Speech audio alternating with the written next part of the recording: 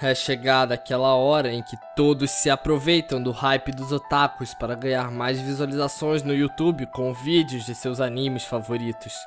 A chamada nos dias de hoje, véspera do lançamento. Estaria eu fazendo o mesmo? Mas é claro que não. Vocês são criaturas especiais que compartilham do mesmo habitat, dividem as mesmas comidas, capazes de fazer de tudo para manter sua preciosa reputação segura de qualquer intruso. Mas hey, sejam bem-vindos ao vídeo de teorias do anime de Persona 5! Eu sei, eu não sou ninguém pra montar um vídeo de teorias de um anime que eu acho que vai ser ruim, mas hey, me dê uma chance pra pelo menos falar o que eu quero e vocês podem até gostar do vídeo, quem sabe? No meu último vídeo falando sobre o anime de Persona 5, eu disse que ele seria ruim.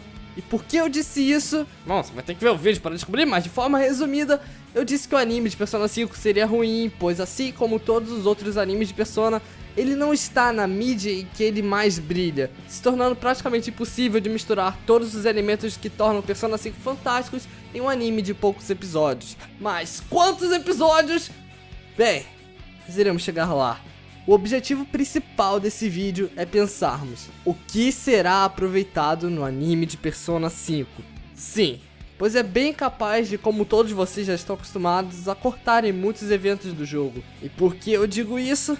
Bom, eu farei minha aposta aqui agora e dizer que, atenção spoiler alert, o Kamoshida será derrotado no segundo episódio.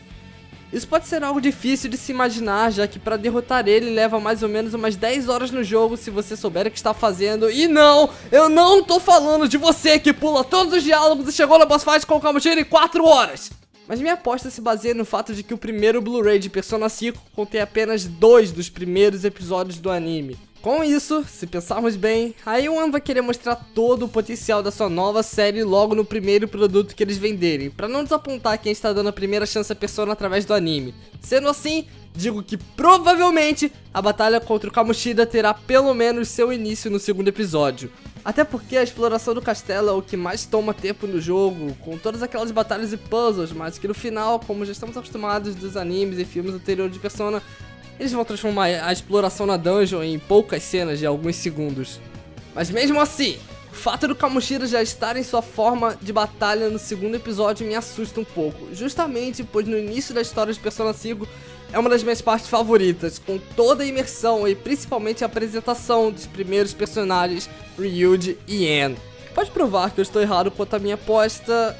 Bom, a única coisa que eu consegui pensar foi o fato de que não só o primeiro, mas todos os volumes do Blu-ray do anime de Persona 5 irão, em teoria, conter apenas dois episódios. Porém, não descarto o meu comentário sobre a A1 querer dar o melhor do seu produto logo no primeiro volume.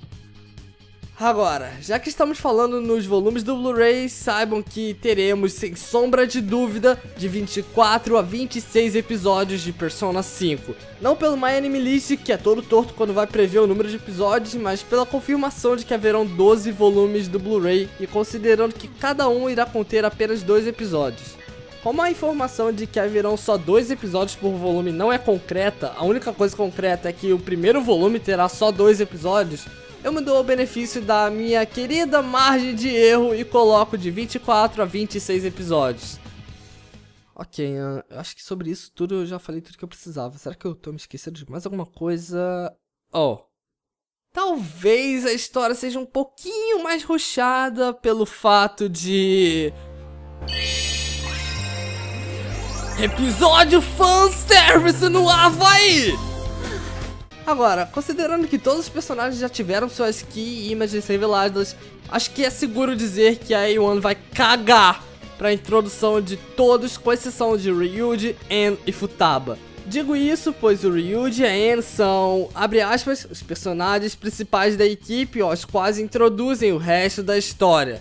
Fecha aspas. E a Futaba, pois ela tem o seu próprio palace e será difícil passar batido nessa parte do anime. Já os outros uh, são muitos personagens para 24 episódios cobrirem a história por trás de todos eles e ainda manter o ritmo do plot principal. Persona 5 tá com uma animação fantástica e com um traço bem característico que parece que vai até ser legal de se assistir. O que continua me preocupando é o decorrer puxado que essa história parece que vai tomar.